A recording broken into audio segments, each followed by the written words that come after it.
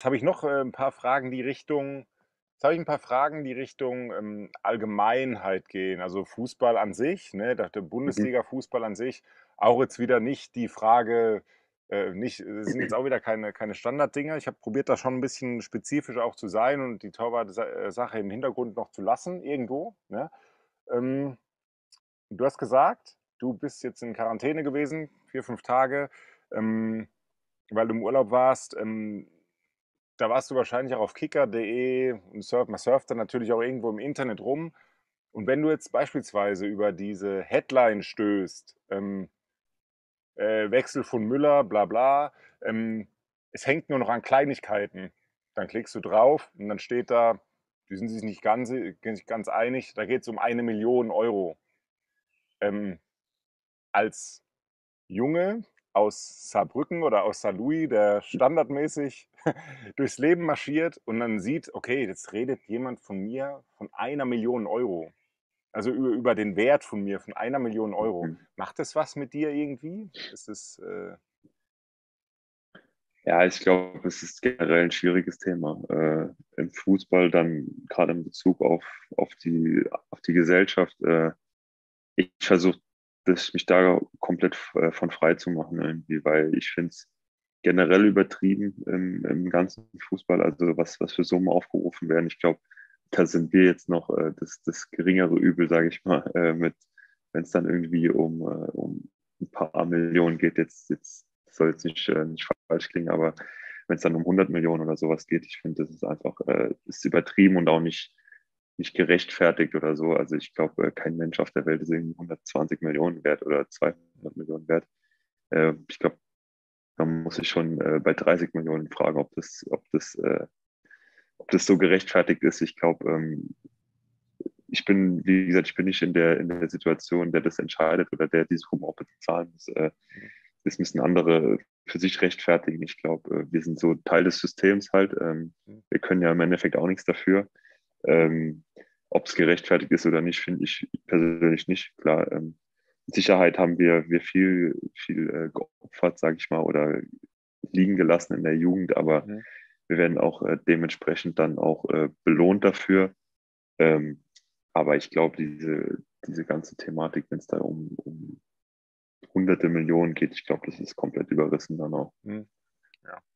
Ja, ähm, also, an sich ist es natürlich absurd, ähm, was, äh wenn's wenn's jetzt drum geht, während der Runde zum Beispiel also, wenn du wenn du in der Runde bist und kriegst auch solche Sachen mit: „Wie geht's weiter? Bleibe ich bei meinem Verein?“ Auf einmal kommt mein Verein und sagt: „Ja, vielleicht eher wahrscheinlich nicht.“ Und auf einmal kommt klare Kante und sagen: „Ne, ähm, du musst, äh oder du darfst wieder zurück nach Mainz“, sagen wir's so, ähm, oder zu deinem alten Verein.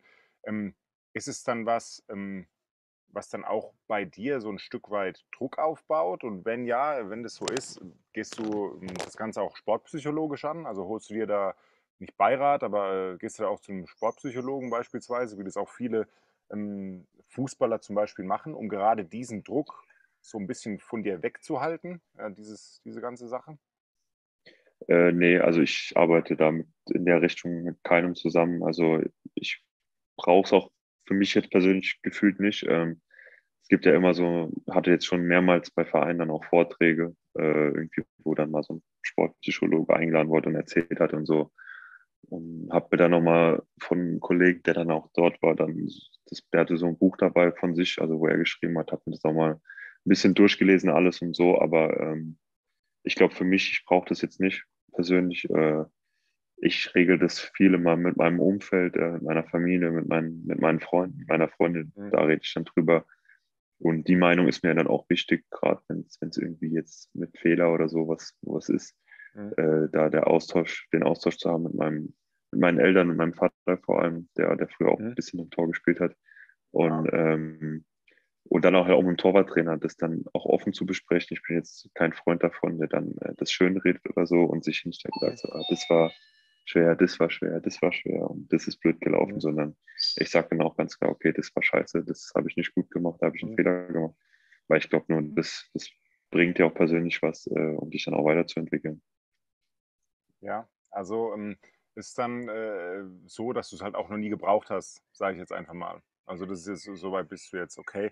Ähm, du hast 'n Torwarttrainer angesprochen. Ähm wenn der Torwarttrainer merkt, also es war vielleicht jetzt bei Corona ein bisschen einfacher, dass du jetzt auch vom Kopf her vielleicht nicht bei der Sache bist, ähm, sowohl im Training als auch im Spiel, vor allem im Spiel, gibt es da so eine Art Ingame-Coaching? Also äh, möchtest du das? Ist es schon vorgekommen? Kommt es vor, dass der, der Torwarttrainer während dem Spiel auch versucht, auf dich einzuwirken zum Beispiel?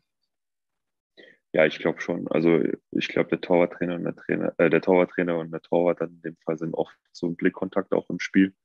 Äh, ich glaube, gerade nach dann nach Aktionen, wenn es auch nur ein, ein Ball im Spielaufbau war, ein, ein Chipball, der irgendwie nicht so einfach war, der ankommt. Ich glaube, da ist so diese, diese Kommunikation, selbst wenn es nur mit, mit den Augen ist oder der, mit der Gestik ist, äh, ich glaube, die ist da ganz wichtig. Ähm, so kleine Zeichen, die dann auch dir dann ein Stück weit Sicherheit geben, wenn du weißt, okay, das war gut. Und das wird dann auch von draußen dann so, so aufgezeigt.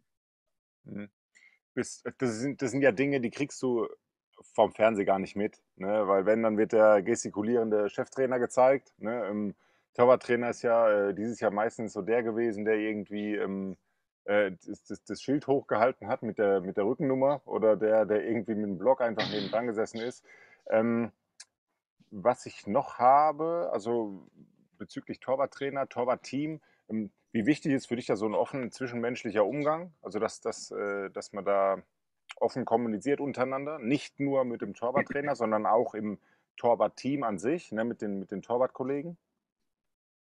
Ja, ich glaube, das ist ganz wichtig. Ich glaube, gerade weil du halt jeden Tag zusammen auf dem Platz bist, ähm, dass du da eine gute Stimmung halt immer hast, weil ich glaube, eine gute Stimmung trägt äh, maßgeblich dann auch zu bei, dass, dass alle sich wohlfühlen und dann auch im Endeffekt dann auch verbessern und entwickeln können. Ich glaube, äh, das war jetzt in allen Mannschaften oder in allen Torwartteams so, wo ich jetzt war, dass immer eine, eine richtig gute Stimmung war, äh, viel, viel, viel Spaß dann auch hatten im Training und ich glaube, das trägt immer dazu bei, dass man sich dann auch äh, weiterentwickelt. Ist also auch so, dass du dann äh, offen für Kritik bist, in, in jederlei Hinsicht, auch von der Nummer 3 oder vielleicht ähm, von dem Torhüter, der aus der U19 mittrainiert. Nicht, dass jetzt einer von der U19 kommt und sagt, jetzt Flo, jetzt hier, was ist los mit dir? Ne? Also das nicht, aber ja, ja. Ist, dass, dass ihr da einfach offen kommuniziert und so weiter auch. Also ist es tatsächlich so, dass ihr da ähm, auch in Mainz beispielsweise, nicht nur in Freiburg. Ja, ich glaube schon. Also ich glaube jetzt, dass untereinander im Training, dass da jetzt irgendwie äh, jetzt kritisiert oder irgendwie so ins Detail gegangen wird, was jetzt Torwart, Torwart-spezifische oder Verhalten angeht. Ich glaube, das ist jetzt nicht so, nicht so der Fall. Ich glaube, das kommt dann schon vom Torwarttrainer. Aber ich glaube, ähm, klar, ich glaube gerade so, was wir am Anfang besprochen haben, dem, sage ich mal, wenn du der, der bist, der spielt und jetzt vielleicht ein A-Jugendspieler kommt oder so, ich glaube, der, der nimmt es dann schon gerne entgegen, wenn du was, was zu ihm sagst. Aber ich glaube, andersrum oder jetzt irgendwie andere Konstellationen, da ist es eher weniger der Fall. Mhm. Mhm. Äh, also quasi ist es dann äh, so, so eine Art, man schaut sich dann doch Dinge ab, wenn man äh, auf Augenhöhe ist. Beispielsweise in Mainz ist es ja schon so Augenhöhe ohne Ende für mich ja, äh, gewesen. Jetzt auch die letzten zwei, drei Jahre. Robin Zentner war ja dann ganz kurz in Kiel, meine ich. Das ist aber auch schon ein bisschen länger her. Mhm. Und dann ist noch Finn Dahmen da. Also das war ja dann auch schon ein Torwartteam, das äh, vom Leistungslevel her auf einem sehr, sehr hohen Niveau war. Ne? Und äh, Robin Zentner und du, ihr seid ja wirklich relativ gleich, ähm, mein, meiner Meinung nach. Ne? Ähm, auch, wenn, auch wenn ihr ein anderes Spiel habt, aber an sich vom, vom, am Ende, was unterm Strich steht. Ähm, jetzt ist die Frage, es gab ja Jahre, da, da, haben, da haben die Mannschaften gesagt, hey, ich will zwei gleichwertige Torhüter und die sollen sich dann kitzeln. In der Zwischenzeit hat sich ein bisschen rauskristallisiert, ähm, auch bei anderen Bundesliga-Vereinen, hey, wir haben eine klare Nummer eins, wir haben eine erfahrene Nummer zwei, die dahinter steht und einen jungen dritten Torhüter beispielsweise. Findest du, es, ist, äh, es, es kann von, von Nachteil sein, wenn, wenn du äh, zwei auf absoluter Augenhöhe agierende Torhüter hast? Ähm, oder sagst du, nee, das ist einfach ein, ein Push in der Regel? Ja, ich glaube, es ist dann auch eine Typfrage, äh, wer, wer halt dann spielt oder wie es dann halt aussieht im Torwartteam. Aber ich glaube, es ist schon besser, wenn man, äh, wenn man eine gewisse Rangordnung dann hat. Also klar, es ist, der Konkurrenzkampf ist so oder so immer da im Training, äh, auch wenn es eine klare Nummer eins, eine klare Nummer zwei geht. Aber ich finde schon, dass man das haben sollte, dass man sagt, okay, äh, hier, das ist meine Nummer eins. Klar, dass wenn man jetzt fünf Fehler in fünf Spielen hintereinander macht, dass dann vielleicht irgendwann mal daran gerüttelt wird, das ist ganz klar. Aber ich glaube, es ist immer schwierig zu sagen, wenn du jetzt jede Saison irgendwie dann in die Saison gehst und vor der Vorbereitung heißt, okay, jetzt ist wieder offener Konkurrenzkampf um die Nummer eins. Ich glaube, es ist, ich glaube, für, für mal ein Jahr oder ein halbes Jahr ist es okay. Ich glaube, das kann dann beiden schon weiterhelfen, aber auf lange Sicht gesehen ist es, glaube ich, ähm, nicht die beste Voraussetzung. Hm. Ähm, ja, das ist so der, der Punkt. Wir hatten vorhin, vorm, äh, bevor ich aufgezeichnet habe, schon drüber gesprochen. Ähm, Torwartspiel, wie sehr beschäftigt dich es auch neben dem Platz? Also wenn du nicht auf dem Platz bist, sondern wenn du vom Trainingsgelände runterfährst und sagst, hey, heute eigentlich Feierabend, bist du dann trotzdem noch dabei, dass du, dass du schaust, äh, was geht im Internet, was, äh, oder, oder, oder auf Instagram oder äh, was, bist du in Kontakt mit, mit anderen Torwarttrainern oder anderen Torhütern beispielsweise aus, aus der Liga auch?